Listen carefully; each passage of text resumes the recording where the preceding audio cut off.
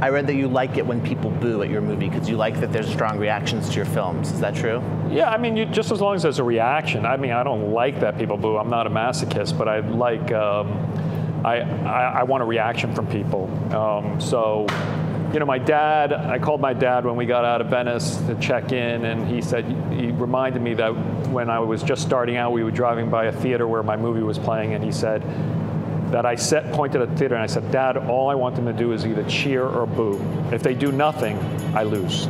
So I guess I'm still doing the same thing.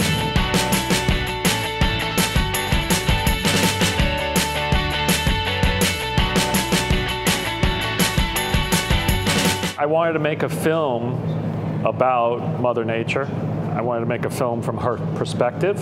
I mean, we're working on an allegorical level where it's um, it's dealing with you know these big symbols, and then it also works on a very human emotional level where it's a relationship film as well.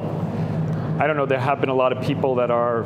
Naomi Klein just sent me a uh, direct message today saying how ironic it is that this film is coming out as Irma is making contact with the United States.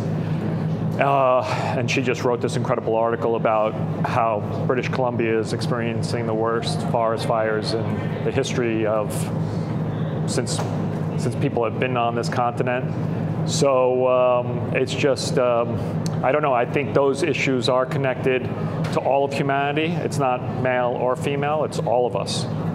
The biggest tool that I used for my character was the connection with the house because I see us as as one organism by chance. I was reading Jane Eyre and then I read The Wide Sargasso Sea. So to me, this is incredibly feminist in the way that. Um, you know, these Victorian patriarchal novels show these loving, amazing husbands that are very slowly and delicately taking away their wives' dignity.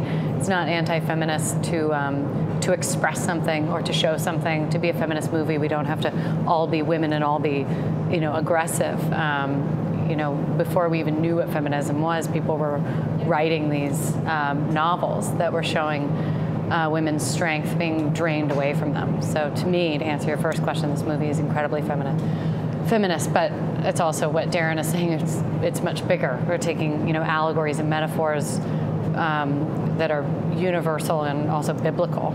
You'll know what scene I'm talking about if you see the movie. But I, I went. I had trouble calming down and coming back, you know, after you call cut, sometimes it's hard when you summon all of this these feelings to just kind of snap out. I've always been fine snapping out of it, and but I've never had to go this dark before, so I just kind of lost control of myself, and um, I tore my diaphragm and popped my chest rib out. So I don't know if I'd ever work with Darren again. well, it's funny because it's amazing. There's some behind the scenes footage which is coming out shortly as the film comes out. But like you'll see Jen doing the most intense stuff in this movie and I call cut, and then her complete body language changes. She becomes Jen Lawrence again, goes, picks up her copy of Wuthering Heights, starts reading again. And it's like, Jen, we need you again. She puts it down, making jokes, and then action. So she's very one of those actors that can turn off the light switch on and off right away. But I think we definitely went really, really intense. Too far. We went too far. well, we always go a little too far sometimes. And it's on those edges where you actually make ideas and images really stick. Do you feel like the whole sequence, without giving away the second half of the film, did you in your head think it's an allegory for fame? I that? didn't. Um, for me, it looked like the creation of religion and it looked like false idols, which I guess it, it's that would be one way of looking at fame, which is false idolship. You know, I mean, I see people react to me sometimes, and I'm like,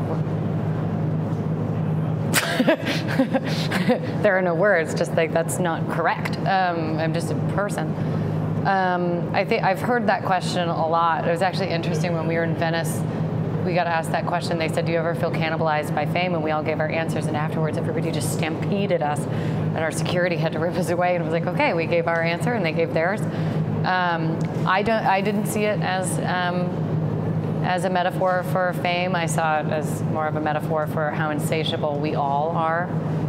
Um, but it's it's a movie that can be read on a million different levels. It's interesting because it definitely wasn't an intention, and a lot of people are picking up on that part of uh, how humanity is portrayed in the film.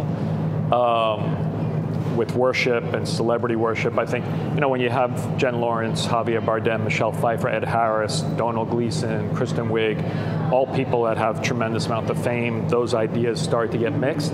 But I think what's exciting about the movie is that it's open for interpretation. And even though I have a, a real intent with it that a lot of people are getting, there's all these other ideas that are coming out too, and that's great. So, you know, I wrote it in the eighth year of Obama. It's coming out in the first year of Trump. So um, that, you know, my intention was very different from where we are now.